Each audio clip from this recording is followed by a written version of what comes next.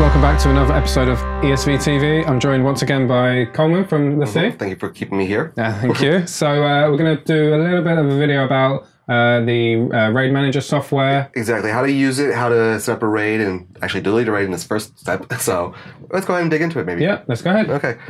So uh, here we have the raid manager. Um, first thing I'm going to go ahead and do to start showing it off is I'm going to go ahead and delete our raid. So I'm going to say delete. Takes a couple of seconds. There we go. The raid has now been deleted. Apple by default is letting us know that we have a bunch of drives available. So I'm just going to go ahead and ignore those drives right now. But if I want, I can actually go ahead in here and say available drives and see all my drives individually if I wanted to. So, so this is a 6big we're using, so six individual drives. Exactly. Um, if it was a 2big, we'd see two different drives. If it was the 12big, we'd see 12 different drives. Um, so I'm going to go ahead and create the RAID now. So create array. So we have two options here. We have quick and custom. In quick, by default, if there's only two drives available, it's going to create a RAID 1. If there's three drives or more, it's going to create a RAID 5. Uh, most people are probably want to stick to that. But I tell people, just go ahead and go into custom. Sometimes they're a little afraid. Um, custom is very easy with us. So let's go in there. Say next. So if I select one drive, of course, no RAIDs are available. As soon as I select a second drive, we can see we have the choice between RAID 0 and RAID 1. Each time we're going to see the capacity, so we're going to have 8 terabytes or 4 terabytes available, and eight, uh, for another 4 terabytes for redundancy. As soon as I choose a, a third drive, RAID 1 goes away, and we have the choice between RAID 0 and RAID 5, and we see that capacities have now updated. So now 12 terabytes available, and RAID 5 would have 8 terabytes available and 4 for redundancy. Um, that's going to keep on updating with how many drives I select. So all the way up to 6 drives, I'm going to see that I have 24 terabytes available. Um, in this particular case, I'm just going to go ahead and select 5 drives, and you'll see why in a second.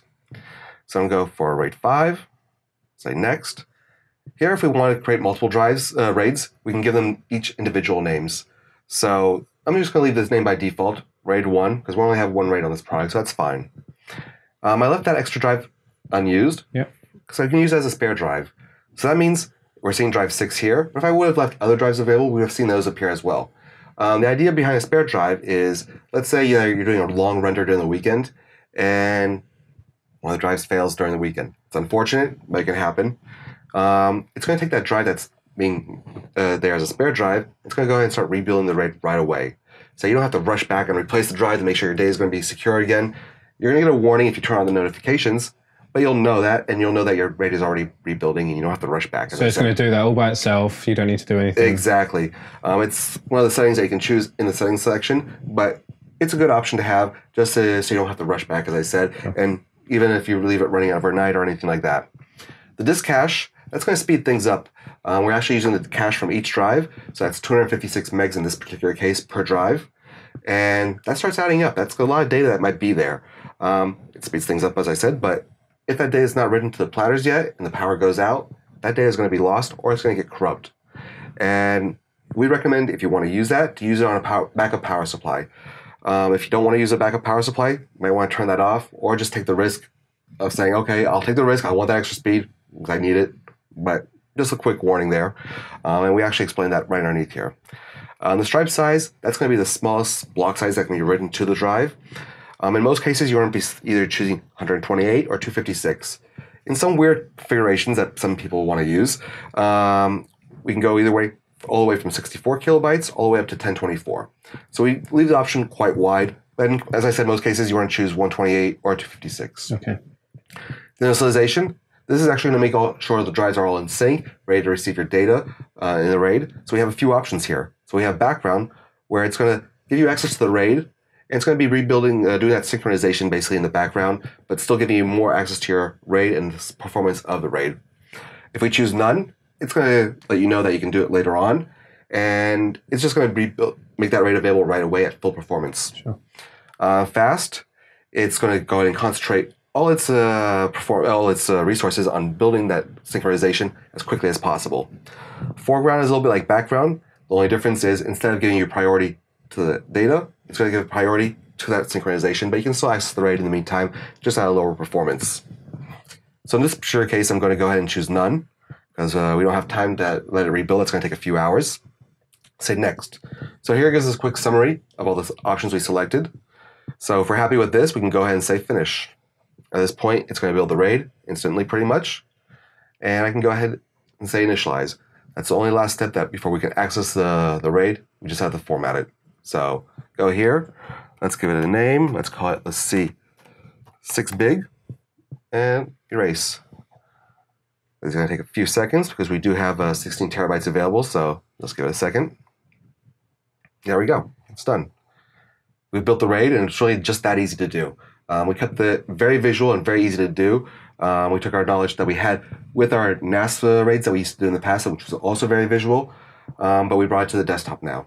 Okay. Mhm. And uh, so, anyone who's who's not maybe familiar with the different raid modes available, why don't you uh, give us a quick explanation of uh, what they are? Okay, so yeah, you started off with RAID 0. RAID 0 is going to give you maximum performance. However, it's going to give you no security whatsoever. So that means in this particular case, if we're using all six drives in a RAID 0, it's going to be splitting off each file into six different directions. We're using the capacity of all the drives, and we're using the speed of all the drives combined as well. However, as I said, we're splitting that file into six parts.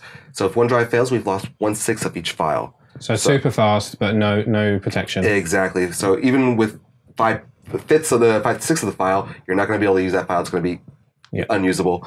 Um, forget about it. Sure. Um, RAID one is basically going to use with two drives, and that's going to do a duplication of your data. So if one drive fails, the second drive has an exact copy of it.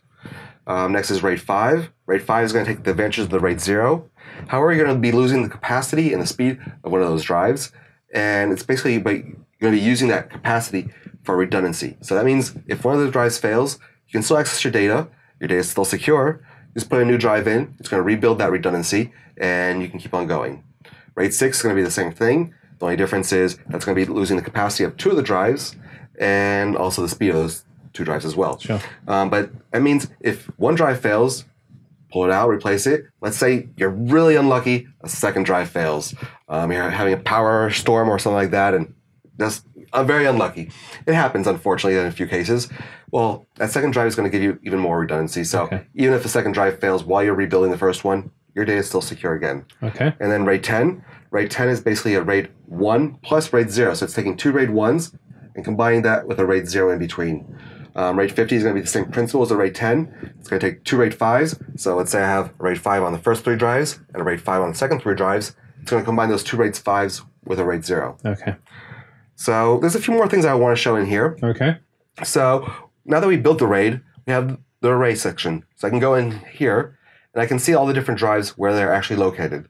So if I had multiple drives, uh, multiple RAIDs of this uh, product, and for any reason I decided to pull them out of the chassis, put them into the new chassis or whatever, for any reason like that, um, we're actually writing a little bit of information to each drive. So you're not going to break the RAID even if you mix up the drives. Okay. That's a very good feature that we've added with these new products. Um, but it'll also let you know, oh, that you put the RAID 1 drive down here when it should have maybe been up here just for logic sense. But it'll let you know exactly where the drives are located in the product and which RAID they're part of. Okay. Um, some other things we have here are device settings. So here you can really customize how you want to give priorities to certain things. Um, I can give uh, priority to the rebuild or turn on priority. Um, basically, let's say it's Friday afternoon, you're working on a project, and unfortunately, a drive fails. I mean, we're, we're, we're talking about bad things failing, but we want to make sure that we have as much uh, possibility to make sure that the user has the best experience if that does happen. So, Yeah. um, so as I said, drive fails. You're working on a project, you need that performance because it's a 4K video file. Take that rebuild slider, bring it down to low priority. Keep on working. The performance is going to be a little bit slower than normal, but it's still going to give you pretty good performance in the meantime. In the evening, once you're going to leave the office, you might want to take that rebuild slider, bring it up to high priority at that point, Yeah. and it will rebuild, re- finish rebuilding the RAID as quickly as possible at that point. It's going to give you a lot lower performance, but it's going to concentrate on rebuilding that RAID so you make sure your data is secure once again. Exactly. Um, we also have the audible alarm. So if something does happen, the product is going to let you know by LEDs, but it's also going to start beeping to let you know, hey, something's wrong. Um, in some environments, like especially audio recording, you can't afford to have any beeping, even if it's like something going wrong. Make sure you have that take if it's only get one chance. Um, so you might want to turn off that alarm if you're working in audio conditions uh, environments. Um, next, we have the app settings. The app settings basically just going to choose the language you want to use the software in. We have a lot, wide selection here. So we have all these different languages. I'm going to stick to English because I know best. um, but we also have the possibility to auto start. So that means when you turn on your computer, the software is just going to launch itself automatically. However, that's not needed. Um, sometimes it might be nice to have it running just for those notifications and stuff like that. But once again, not needed at all. So I turned that off personally for my choice. Okay. Next, we have notifications. So here we see some different things. We see that I deleted the RAID a few times. Um, all these blue things are just letting us know that things are actually working well, that things are healthy. So um, we're not seeing it here, but we also have like a drive check and fan check. And it's just letting you know everything's working well. Um, yellow is letting you know that, oh, quick warning, you might want to look into this. That's when we deleted the raids. And if something was really wrong, it'd be in red. And of course, we don't have any of that because everything's working great here. Um, we can also receive these notifications by email. By default, we use a LaCie server, so we make it easy for the user to just set it up. Just put in the email address where you want to receive this information, and it's going to go ahead and send out those emails. Um, we turn off information informational uh, by default because that's just going to send you too many emails. We leave warning and error on by default as well, so you can customize out however you want.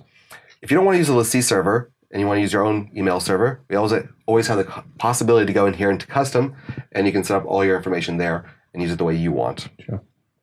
Just going to say cancel for now. And the last part that I want to point out is updates. So we have an update section because we realized that our previous RAID manager, no one was updating their software or their firmwares on the product. Um, sometimes we can push out new firmwares uh, just to help increase uh, the performance of the product or just optimize some of the features. And we want to make sure that the users are up to date, or if they ever do need to contact support, that they actually know what firmware version they're on. So here we can see the software version, the firmware version, and if there's an update available, which in this case I left on purpose so we can actually see what it looks like, um, we just click here, and it's going to download that in the background. And once we're ready to update, we just click on update, and it's going to go ahead and update that firmware. Perfect. So that sort of brings us through the whole uh, presentation of the software. It's very easy to use. We try to make it simple to use. You don't have to be an IT professional. You don't have to be a system admin. Just keep it simple, and no one, oh, anyone can use it. So yeah. So that's great. So available on the site. Of course, it's available on the site. We don't ship it with the products because we want to make sure that the user has the latest version of it. So we just go to the product page, click on support, downloads, and you'll have access to the latest version. Perfect. So uh, thanks for watching, guys. I uh, hope that gave you a little bit of uh, an insight into how the RAID Manager works, how the software works, uh, what you can do with it. Uh, you you've seen that we can really customize it to however you want to work. So if you enjoyed that, don't forget give us a thumbs up and a subscribe, and we'll catch you again next time on ESV TV.